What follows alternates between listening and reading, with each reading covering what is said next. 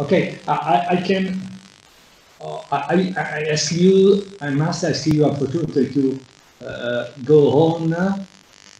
So I, I can drive my, my, my, my slide from, uh, so my talk will focus, so let me, let me, let me, okay. My focus uh, will be on, uh, will focus on patients with a stable uh, liver disease and chronic liver disease. I try to focus the, the issue regarding the, uh, the coexistence of thrombosis and bleeding in this setting. The next, please. Uh, the, the story started many years ago with the concept that patients with the liver cirrhosis have a coagulopathy with a tendency of bleeding. And this is a story which uh, has been uh, suggested to, to be for decades.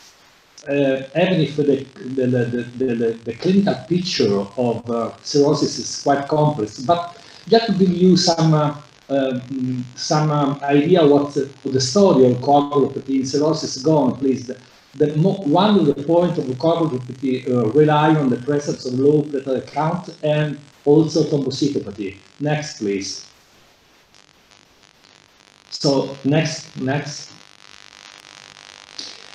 So that I reviewed with the with the with the with the Andrew Burroughs many years ago this topic, and uh, regarding the low platelet count, this I must say it's quite rare, and only in severe liver disease we have a count below uh, 50,000. Uh, so the, the concept of the persistence of uh, thrombocytopenia in liver cirrhosis it's controversial, but and uh, in many cases uh, Uh, there were no data suggesting a relationship between thrombocytopenia and uh, uh, bleeding. Um, but I will um, go into this issue later. The second point, which has been considered true for many years was the existence of a thrombocytopathy in this setting using uh, several, especially um, ex vivo study regarding platelet aggregation, which has, been reported uh, low in uh, two papers from uh, two Italian group published on hepatology and gastroenterology. But in the in the later decades, this concept was was was faced as there was no relation between um, there was not uh, uh, methodology which uh, supported this finding. For instance, we used the, we measured thromboxane B2 in the urine, on we measure platelet function, and we cannot reproduce uh, this previous report. So the concept of thrombocytopathy in liver cirrhosis uh, actually is untrue. Also for the clinical reason, uh, reasons I will tell you in the next slide, please. Uh, next, please. We have just, uh, we, we, just two years ago, we, we published a paper where we, uh, the question was if there is a relationship between bleeding and platelet count. This is the cohort we have studied. And please consider the, the bleeding complication we have in two years of follow-up. This is a sub-study of the PROLIVER study we have done in Italy. And what's interesting, the, the gas-related bleeding uh, was the non-gastrointestinal bleeding were very low, which suggests that there is not uh, an issue related to platelet count and systemic bleeding, because this bleeding is quite common in the general population. So this focuses essentially, this suggests that in patients with stable liver disease and cirrhosis, bleeding is essentially localized in the gastrointestinal tract. And uh, next slide show that even considering together or separately the gastrointestinal bleeding, the gastrointestinal bleeding versus uh, systemic bleeding, we didn't we didn't find any relationship between platelet count and bleeding, which suggests that thrombocytopathy uh, probably does not exist and the concept that the low platelet count predisposed to bleeding is untrue, at least in clinical in clinical uh, setting of patient with stable cirrhosis. So this is a, a first point uh, which should be underscored, uh, which persists for many years uh, regarding uh, the, the, the, the, relationship between platelet count, platelet dysfunction and, and, and bleeding. Uh, so after at least three decades, I think the talk by Tom also suggests this, uh, support this, that platelet count and uh, is not related to bleeding in cirrhosis. Next, please. And the clinical picture of cirrhosis in support of this point, because you, you don't see any, any, any, any bleeding, uh, any difference between uh, general population liver cirrhosis regarding intracranial hemorrhage, which is one of the most important uh, clinical features of patients, for instance, taking aspirin or clopidogrel. Uh, the the uh, intracerebral hemorrhage is a typical uh, feature of a patient with a, dysfunctional platelet, as occurs after aspirin or, or clopidogrel. And assuming that there is a thrombocytopathy in, in, in cirrhosis, we should have more bleeding uh, in, in uh, intracranial bleeding compared to, to control, but this is not true. And the next slide shows the same.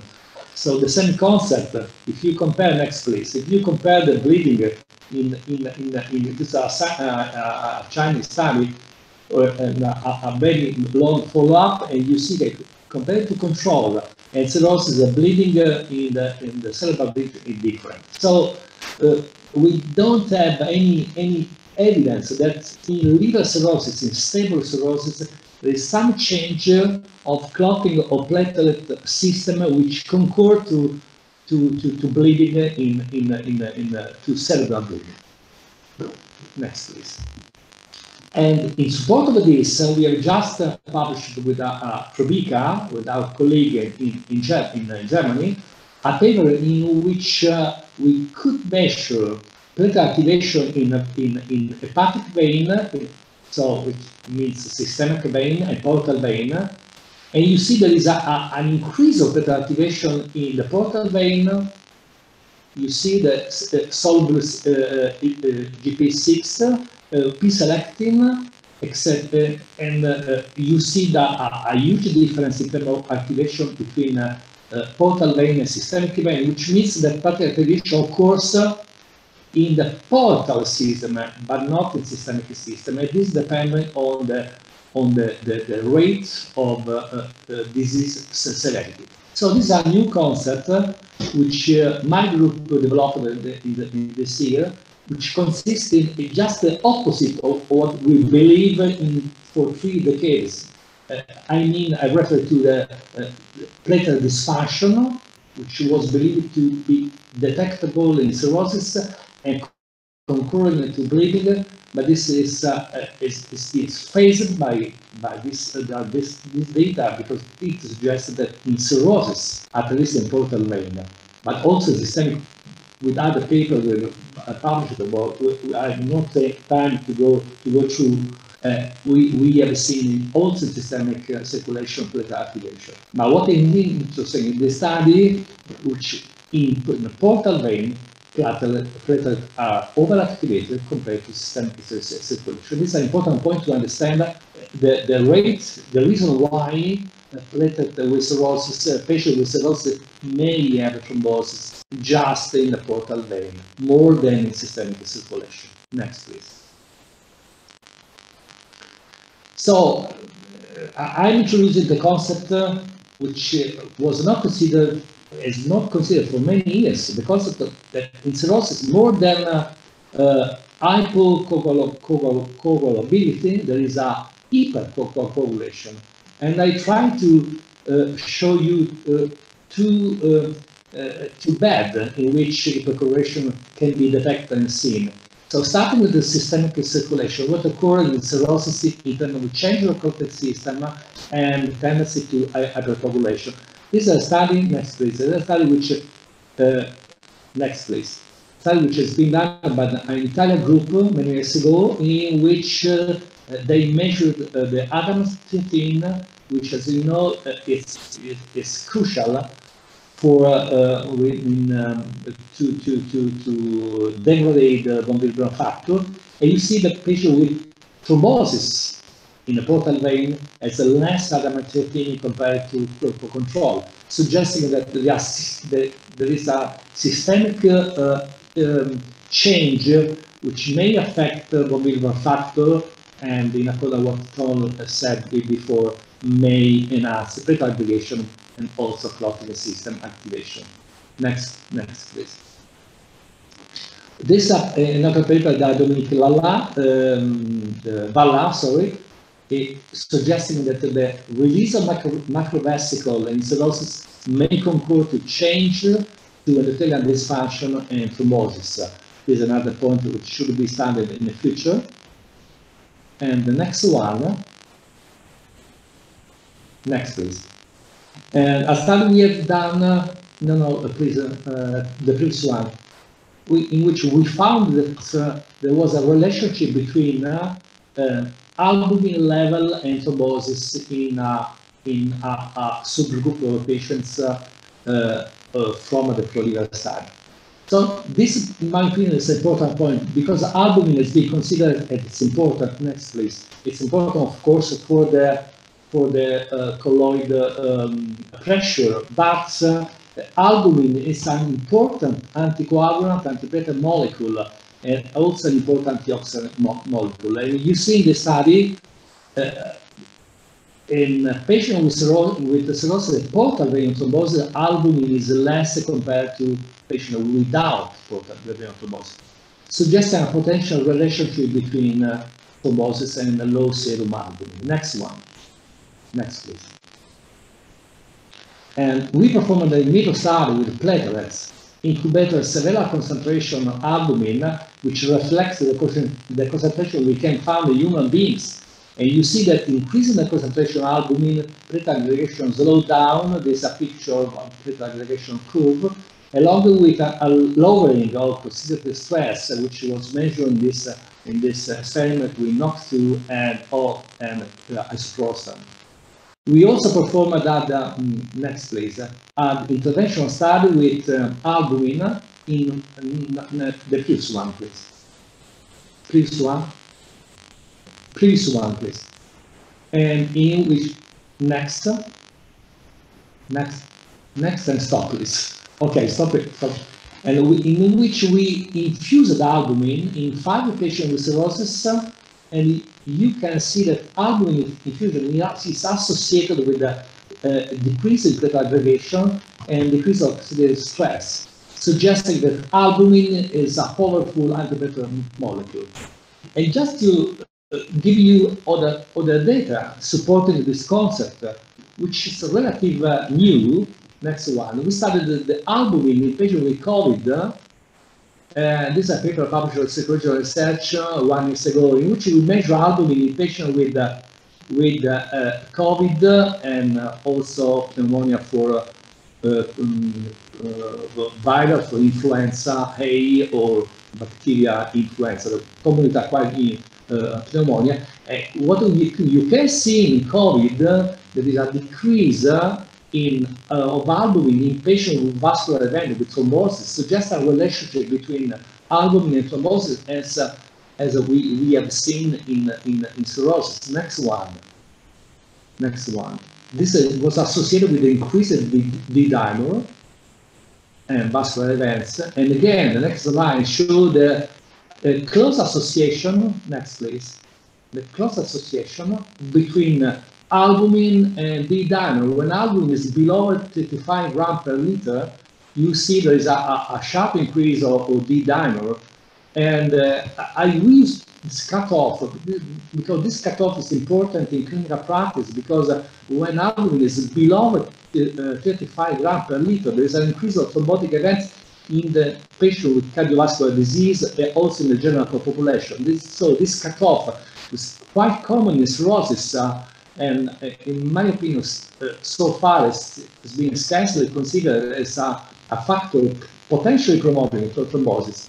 You see this this, how is maybe important because it's a mirror of uh, clinical uh, picture related to, to thrombosis. The next one show a, a closer, next one please show uh, uh, a correlation between, uh, I, I, lost this, this slide, correlation between albumin and D dimer and clinical event.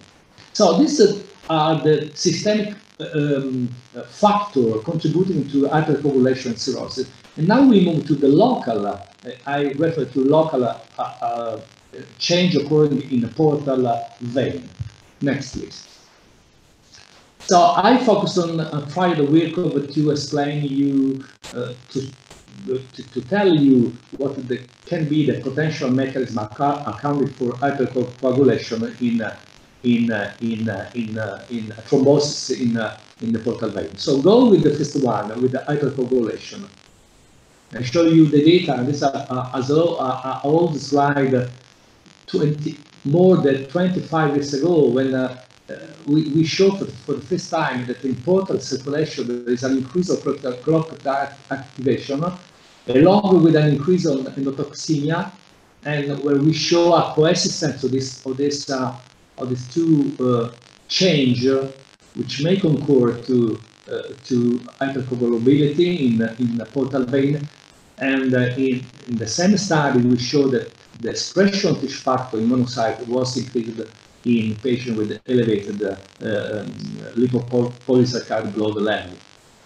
So we have we have sh uh, we shown that there is hypercoagulability in cirrhosis potential related to uh, endotoxemia, and the study is being confirmed by by the Milan group, uh, Tripodi, uh, many years later, ten years later, and also confirmed next one Baton uh, a few years ago, in which, uh, next please, the, the, the, the middle group, next one, next one, next please, in which they show that in patients, not previous one, in which they show that in patients with cirrhosis, the atomic generation is increased. So this now, right now, consistent data in support of this concept. This, uh, there is an increase, a rebalance uh, uh, uh, uh, situation with a clear tendency to atomic generation, which is associated with that, the clinical feature of cirrhosis. I'm referring essentially to thrombosis in the portal vein. Next one, please. Next. And now to endothelial damage. There is endothelial damage uh, which concur, and there is a, a, a, uh, the, the, the existence endothelial damage does exist, we focused on the factor 8, which is secreted by endothelial cell, and we uh, confirmed that uh, factor 8 is increased in cirrhosis depending on the on, uh, liver severity, disease severity, next one. Associated with LPS increase, next one associated, there is a close uh, a clear relation between factor 8 uh, uh, concentration LPS, suggesting that endotoxemia may induce a secretion of factor 8 from endothelial cell. This has been shown in vitro. Next one, we performed an experiment in our lab. Uh, before this, uh, uh, before this experiment, this a, a, very recent data, again from the Deutsche group. And this study, we show, we measure uh, uh, von Willebrand factor, factor 8, LPS in the portal versus systemic circulation. You see a gradient between portal and systemic circulation, suggesting that there is endothelial damage in portal vein.